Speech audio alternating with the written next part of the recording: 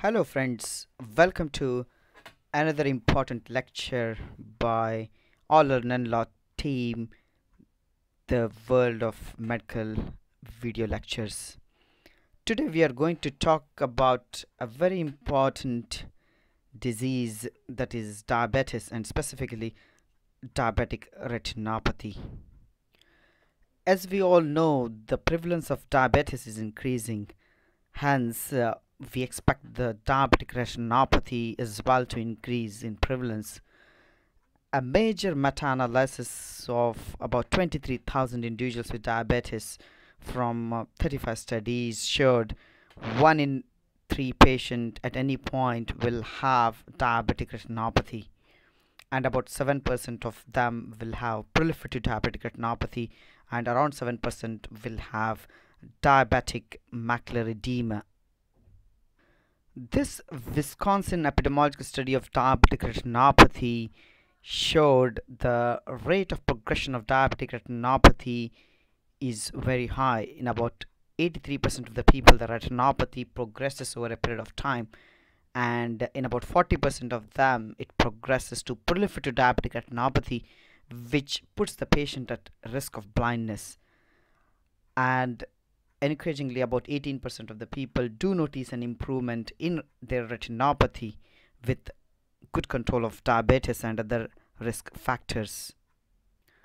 So what is this retinal screening?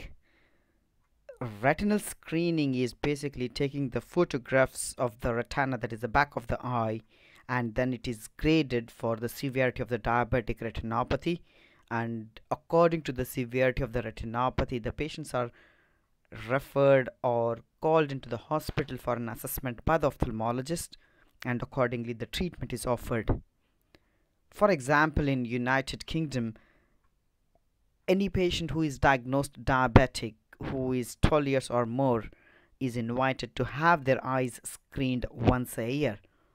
And if there is anything which needs a referral to the hospital the patients are offered the appointment at the hospital for assessment and then treatment.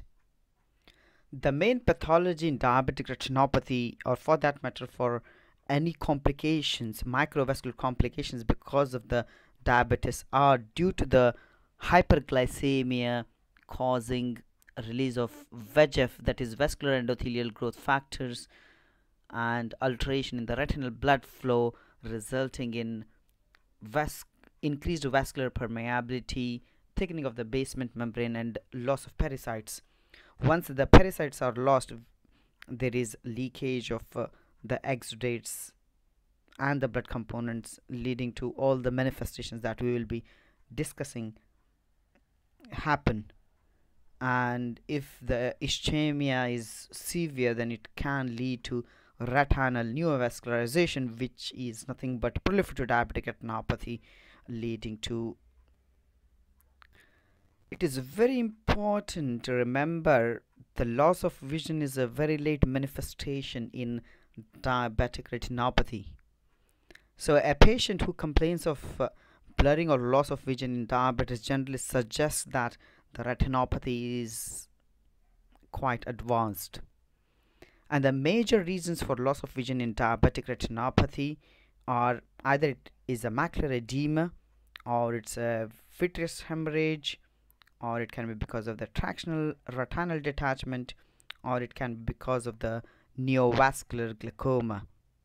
There are different classifications that are used for diabetic retinopathy. Uh, the most commonly that we use is mild moderate non-proliferative diabetic retinopathy and proliferative diabetic retinopathy. Mild to moderate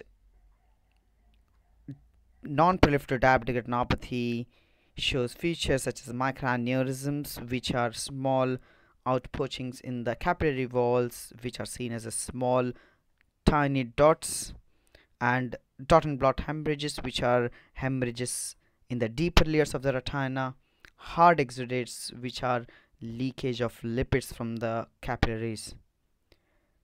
Moderate to severe non-proliferative diabetic retinopathy is characterized by intraretinal microvascular abnormalities or uh, multiple retinal hemorrhages in all the four quadrants.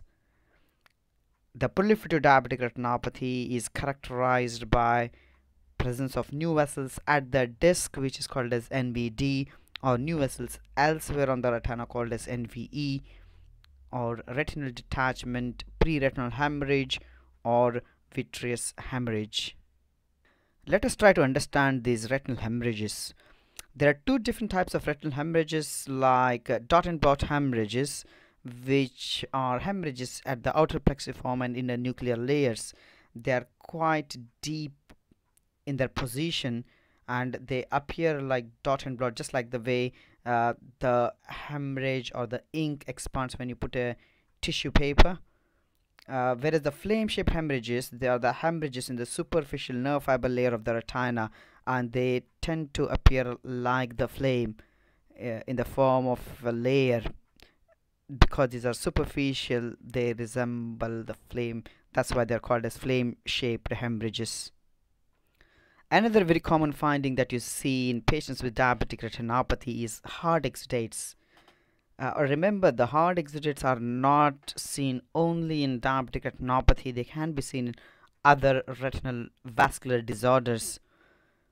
They are basically collection of lipids due to the microvascular leakage.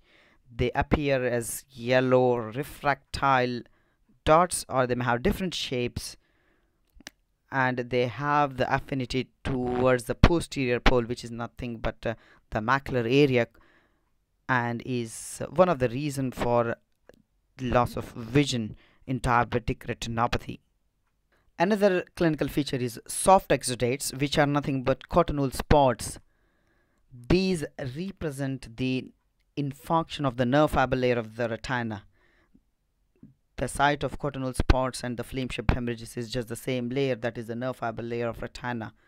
These appear as fluffy white and they do have irregular borders and uh, they do have striations of the nerve fiber layer. When we compare the soft exudates and the hard exudates, the hard exudates are the lipids which leak and they are very refractile and they are quite deep and they are small and they do have well defined borders whereas the cottonwool spots they are larger irregular superficial in their position